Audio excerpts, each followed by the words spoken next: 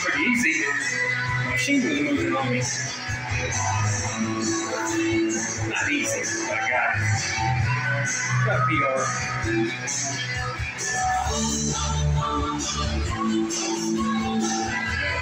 Bar and the whole apparatus weighs 57 pounds.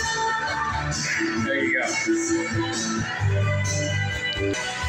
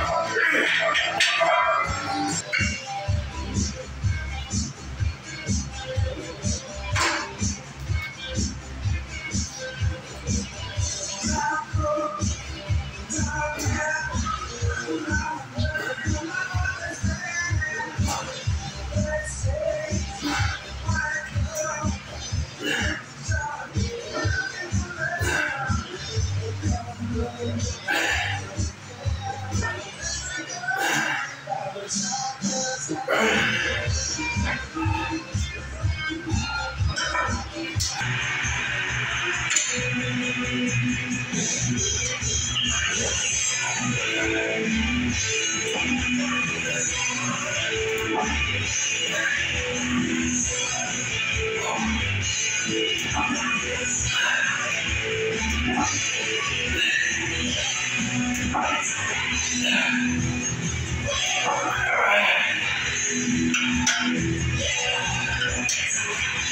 guys. Now, typically I don't film quite like this with my phone, but it's what I'm using today. Now, what you've seen on that Smith machine squat was not pretty, but I wanted to go up and see what I could do at 417 pounds. Now, of course, the weight is weird because of the carriage in that bar, way different than just a standard, you know, Olympic bar. So, the weight uh, percentage is kind of strange. But I mean, I handled it. I didn't feel like I really strained my back or my neck too bad, oddly enough. And uh, the last uh, max that I did on that was 407, and this was 417. And I went ahead and did two sets of them. They weren't pretty. Uh, I needed, I had to work my way with my hands.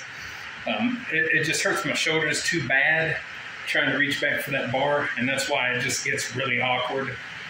So squats are going to be my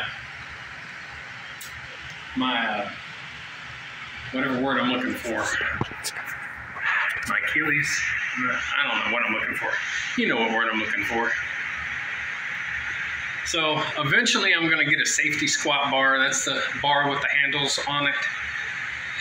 I'm either going to buy one or I'm going to have a friend weld some handles on to one of my bars and uh, just get some pads for it because you know just trying to do that with the bar and even my little let me show you that. For those that don't know my vice grips that I have on there you know that's to help me with the grip but even that's not really helping. Uh, it's just it's too close in and my shoulders are just that bad. So I'm not going to go up any heavier than what I just did, and I'll, i may never do that again until I can get a bar like that.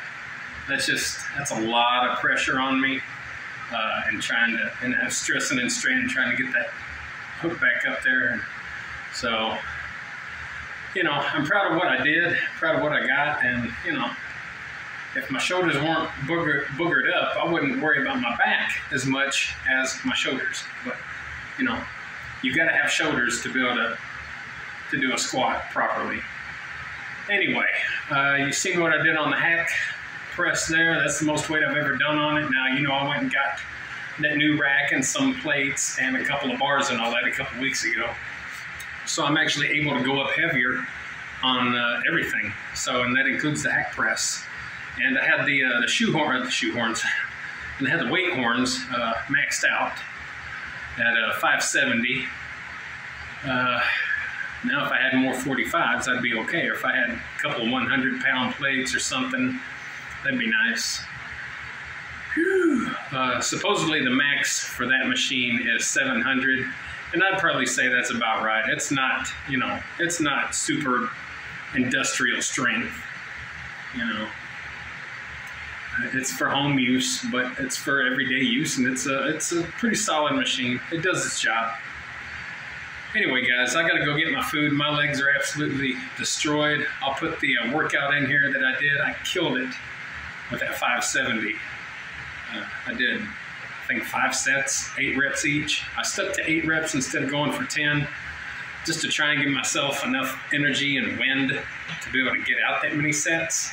You know, so it was rough. Felt pretty good though. I did it. So anyway, guys, hope you enjoyed this weird kind of little video on my leg day. Don't forget to like, share, subscribe, comment, all that good stuff to the Body Beatdown. Where every week we're gonna keep pushing it and trying to break the limits that we put on ourselves, guys. Get up, get out, get to do it to it. Inspire someone today along your way, including yourself, because you matter more than anyone else. We'll see y'all later on the Body Beatdown. Bye. Get up, get out, get ready, do it, do it.